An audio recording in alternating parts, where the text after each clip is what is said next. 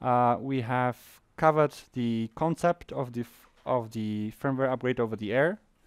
We have uh, showed the interactions between the individual software components. Uh, then we have showed um, uh, various ways to up upgrade the RF stacks. And then we've showed uh, uh, tools from ST to evaluate the power consumption.